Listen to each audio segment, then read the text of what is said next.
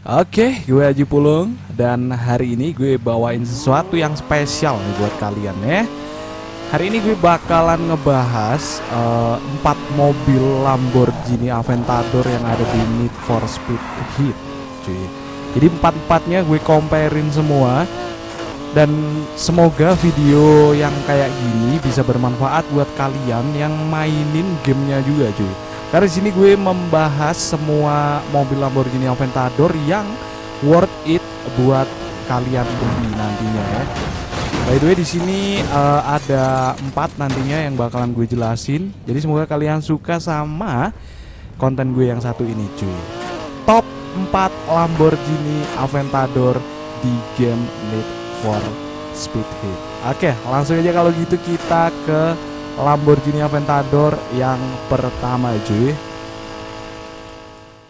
Dan yang pertama gue punya Lamborghini Aventador uh, S tahun 2018 nih cuy. Ini mobil Lamborghini Aventador pertama yang bakalan gue bahas di sini cuy ya.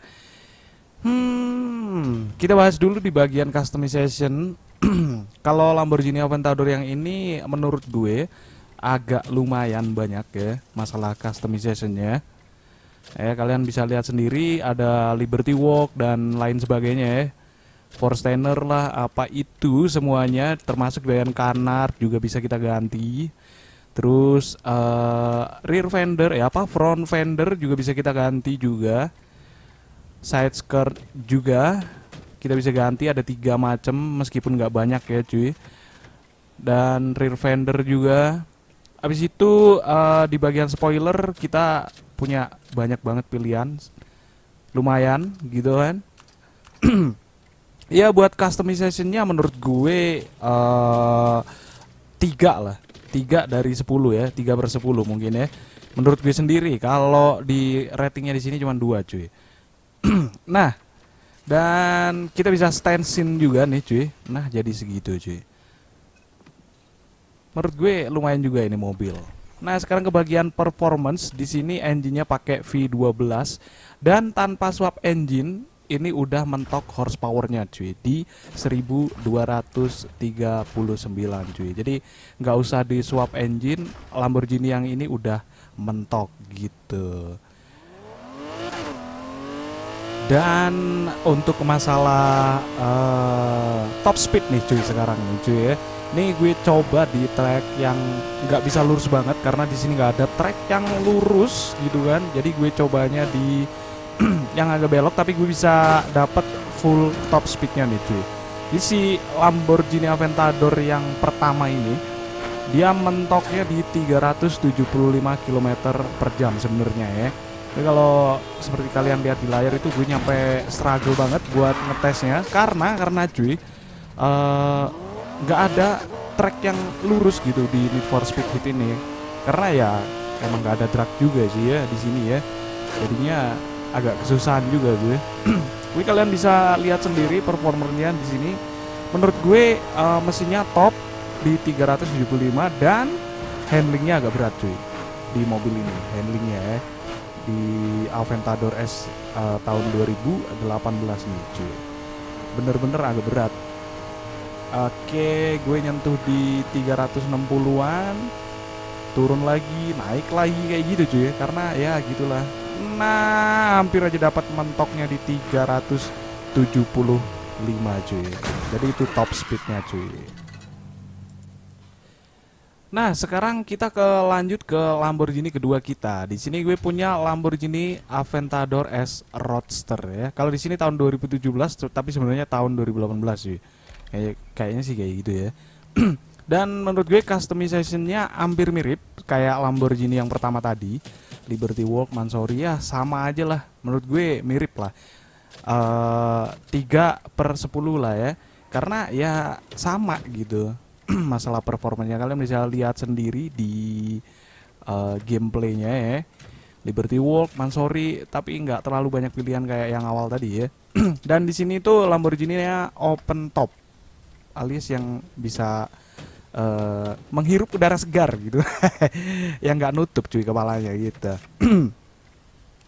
Lumayan juga menurut gue ini buat uh, model dan customisasinya lumayan lah ya. Spoiler sama persis gitu kan. Taillight juga sama persis dia sama yang pertama Lamborghini Aventador S yang biasa.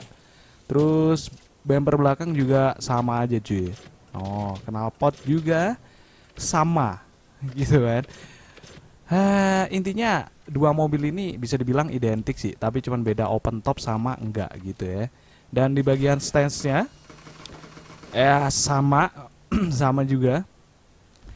Bisa ceper-ceper juga gitu kan. Nah, sekarang di bagian uh, mesin ya, stok engine-nya tetap sama V12 juga.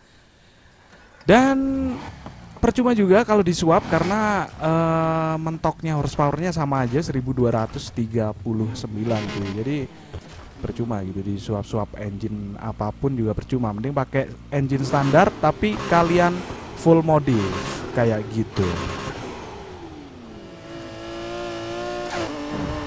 Oke dan lanjut di masalah top speednya nih cuy. Gue ngebahas top speed itu udah identik Jadi Lamborghini Aventador S yang biasa sama yang Roadster ini identik sama persis. Meskipun gue ngetesnya ya gitu berantakan gitu kan. Karena sambil ada trafficnya juga cuy. Kayak gitu cuy. Mentok-mentok di uh, 375 km per jam cuy. Dan gue nyoba buat uh, tes bolak-balik ya biar kerasa gitu kan. Kalian bisa lihat sendiri sekarang uh, di top speednya sebelah kanan bawah pojok kanan bawah ya sama aja nyentuhnya ya 360 habis itu turun lagi di belokan ya kayak gitulah. Susah juga ngetes top speed di sini gitu loh cuy. Mentok-mentok di 375 cuy. Sama aja cuy. Nah tuh. Oke, sekarang kita beranjak ke uh, Lamborghini ketiga nih, cuy. Lamborghini SVJ. Ini yang uh, tanpa roadster nih ya. Lamborghini SVJ Aventador SVJ 2019 nih cuy. By the way di sini suara engine-nya lebih uh, bold, lebih metalik kalau gue bilang ya. Lebih halus saja daripada yang tadi Lamborghini Aventador yang biasa, yang bukan SVJ itu lebih kecerawak ya. Kalau ini lebih ke bold gitu cuy. Nah, sekarang ngebahas masalah uh, customization nih ya cuy ya. Langsung aja kita ke customizationnya. Menurut gue ini uh, mobil nggak bisa dimodif sama sekali. Iya gue kasih ratingnya satu lah ya karena nggak bisa dimodif sama sekali kecuali kita nge-remove uh, roofnya. Udah gitu doang Sele selebihnya nggak bisa cuy. Kalian cuma bisa ganti velg doang sama plat nomor doang. Jadi mobilnya emang udah dari sononya kayak gini bentuknya. Ya kalian mau nggak mau terima apa adanya gitu. Nggak bisa dimodif sama sekali gitu. Itu yang agak gue sayangin ya. Nah kalau stance-nya sama aja kayak yang awal-awal tadi. Jadi nggak jauh beda gitu. Nah di bagian performance nih gue juga menurut gue sama aja horsepowernya karena uh, di 1239 dan pakai mesin V12 juga nih cuy Uh, tapi by the way ini perfnya nanti bisa nyampe ya di belakang gue jelasin lah nanti ya. Ini perfnya bisa nyampe 400-an lah nanti. Gue jelasin lagi nanti. Oke. Okay. Untuk masalah top speed cuy, lagi-lagi dan lagi ya. Di sini gue bilangnya uh, sama aja cuy, karena ya dari horsepowernya aja ya sama gitu kan. Sebenarnya beda satu doang sih 1238 tapi kita bisa swap engine ke V8 atau V10 yang nantinya bisa jadi ke 1239 tapi sama aja top speednya 375 375 juga gitu loh. Ini gak ada bedanya gitu astaga. Ah, susah banget gue nyari jalan lurus gitu kan dan by the way di sini yang perbedaan yang signifikan banget itu yang gue rasa di handlingnya cuy. Jadi menurut gue yang Aventador SVJ ini handlingnya lebih enteng lebih enak daripada dua mobil sebelumnya. Lamborghini Aventador yang biasa yang bukan SVJ itu handlingnya lebih enak yang SVJ cuy kayak gitu. Ini enteng banget serius ya gitulah. Mobil kenceng semua ya ini. Ini udah full modif ultimate plus semua partnya. Kayak gitu cuy. Oke dan yang terakhir yang keempat gue juga punya Lamborghini Aventador SVJ yang roadster nih cuy. Dari bodinya eh, mobil ini dari sononya udah ada liverynya ya cuy livery eh, bawaan livery standarnya jadi menurut gue mobilnya udah ganteng dari sononya lah istilahnya ya no udah ganteng kayak gini eh Dan suaranya sama kayak Aventador SVJ yang pertama, lebih halus, lebih bold, lebih metalik kayak gitu. Nah, ya kayak gitulah. Langsung aja gue bawa ke garasi. Nah, untuk masalah customizationnya uh, di sini sama aja cuy, sama kayak SVG yang pertama tadi ya. SVJ yang pertama itu kita cuma bisa ngilangin stripnya doang. Kalau yang tadi bisa roofnya doang, yang ini bisa ngilangin uh, liverynya doang kayak gitu. Udah gitu doang, sisanya nggak bisa modif kecuali uh, velg doang, cuy. Customization ratingnya menurut gue satu per 10 Kalau stance-nya sama aja. Dah, kayak gini. Dan performance balik lagi ke masalah engine mesin gitu kan. Sama aja, cuy. 1239 horsepower. nah, kalau di swap engine ke V8 atau V10 ya, itu bisa nyampe 1239 cuy. Bedanya cuma sedikit, cuma satu doang udah. Sisanya mah sama aja menurut gue, nggak ada perbedaan sama sekali. Tapi ya perfnya bisa nyampe 400 cuy. Oke lanjut lagi ke masalah top speed lagi cuy. Kalau Lamborghini SVG Roadster ini uh, top speednya menurut gue juga sama aja cuy. 375 km per jam. Sama sama persis. Udah sama. Semuanya top speednya sama cuy. Segituan. Jadi kalau mungkin nanti ada updatean drag race gitu kan uh, pakai Lamborghini apa pun itu uh, menurut gue sama aja top speednya kayak gitu. Cuman bedanya di handling ya balik lagi ya. Mobil yang ini handlingnya juga enteng banget. Enteng pokoknya udah enak lah dibandingin Aventador yang biasa gitu ya. Jadi dua mobil yang SVJ ini emang di handlingnya kerasa banget lebih enteng banget lebih enak buat belok-belok sono sini mungkin kalau dimodifikasi drift gitu kan di game ini mungkin mungkin sih bisa buat uh, scoring atau ya buat nyelesain misi-misi driftnya lah kayak gitu cuy. Ya seperti itu. Gak afdol rasanya kalau gue nggak bawa Chris juga cuy.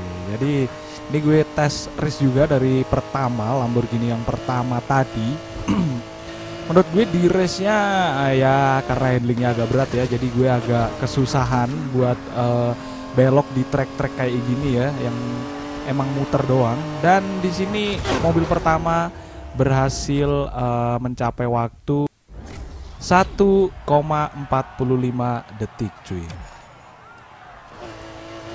Dan untuk mobil Lamborghini Aventador uh, S yang Roadster yang open top uh, sama aja handlingnya juga sama-sama beratnya gitu kan jadi ya struggling juga buat di trek-trek yang banyak tikungan gitu kan jadi uh, menurut gue nggak worth it buat trek-trek yang banyak tikungannya juga karena susah banget dikendaliin. Dan Lamborghini ini uh, punya waktu 1 menit 44 detik buat nyelesain race-nya cuy. Oke untuk yang ketiga suaranya udah beda ya cuy ya lebih bold gitu kan enak didengarnya ya nggak cerawak ya dan untuk yang ketiga ini Lamborghini SVJ tahun 2019. Ini yang bukan yang roadster ya, ini yang SVJ. Gue kok bilangnya roadster mulu ya dari tadi, padahal roadster gitu kan. Sebenarnya ngebacanya ya kayak gitulah. Buat mobil ketiga ini dia nyelesain balapnya dalam waktu 1 menit 42 detik cuy. Dengan handling yang beautiful lah menurut gue. Enak banget buat di track beginian cuy dan untuk race yang terakhir mobil yang terakhir SVJ Roadster uh, tahun 2019 ini enak banget beneran handlingnya seriusan dan gue demen banget sama mobil ini karena handlingnya yang sangat-sangat enjoyable banget. Ini buat belok-belok enak sih seriusan. Dan ini nyelesain waktu balapannya cuman 1 menit 39 detik. Ya itu ya paling cepet lah istilahnya dari tiga mobil tadi gitu cuy Oke, akhirnya kita dapat conclusion atau kesimpulan nih cuy ya. Jadi menurut gue nih ya, sebelum kalian membeli Lamborghini Aventador nih ya, yang versi Aventador dulu nih. Nanti lain-lainnya tunggu aja dulu di next next video gitu cuy ya. Kita bahas Aventador dulu nih cuy. Jadi menurut gue juaranya si Lamborghini Aventador SVJ 2019 cuy. Itu si Roadster ya yang livery ada livery defaultnya nah itu menurut gue handlingnya udah perfect uh, mesinnya juga uh, sama aja dari semuanya dan mentoknya itu 375 tapi kita dapat handling yang lebih sempurna daripada yang sebelum-sebelumnya kayak gitu cuy. Ya menurut gue kalau kalian mau uh, buat nyelesain misi atau apa pun gitu kan buat kalian ke depannya menurut gue kalau pengen punya mobil Lamborghini buat nyelesain misi ya ini aja. Udah ganteng uh, tinggal pakai gitu kan tinggal update upgrade upgrade mesin udah kelar gitu loh cuy. Jadi uh, enak banget dah sepaket lah sekaligus tapi nih ya tapi ada tapinya kalau kalian penggemar modifikasi gitu kan uh, yang looknya juga kelihatan bagus juga ya kalian ke Lamborghini Aventador S yang biasa, bukan yang SVJ gitu cuy. Karena di situ part modifnya lebih uh, lebih menarik lah karena ada Liberty Walk, ada Mansori kayak gitu-gitu cuy. menurut gue dibagi sih jadi dua. Kalau performance ya kalian milih SVJ gitu. Kalau ke lebih ke uh, modifikasi ya kalian mau nggak mau ke Aventador S yang biasa cuy gitu. Eh, conclusion menurut gue gue lebih milih SVJ sih karena gue lebih demen sama performance daripada tampilan ya kayak gitu karena buat online juga nantinya dengan harga yang ya relatif mahal sih sebenarnya emang gitu ya Eh kalau gitu teman-teman kayaknya video kali ini gue tutup ya. Semoga kalian uh, suka sama konten gue yang kayak gini karena menurut gue ini penting banget buat kalian yang baru-baru beli game atau yang pengen beli game ini. Biar nanti nggak salah beli mobil gitu kan. Jadi gue bahas dulu sini. Biar enak aja gitu. Daripada kalian nyobain satu-satu gitu kan. Ngabis-ngabisin duit grinding nggak karu-karuan susahnya minta ampun nyari duit cuy jadi menurut gue lebih worth itan kalau kayak gini cuy. Jangan lupa. Banyak-banyak di share biar banyak orang yang tahu cuy kayak gini. Dan gue nanti bakalan ada uh, segmen yang lain. Nanti aja gue uploadnya. Bakal jadi kejutan juga buat kalian nantinya ya. Oke selalu support gue dan semoga konten ini bermanfaat buat kalian. Dan gue aja pulung gue pamit dulu cuy. Sampai jumpa di next video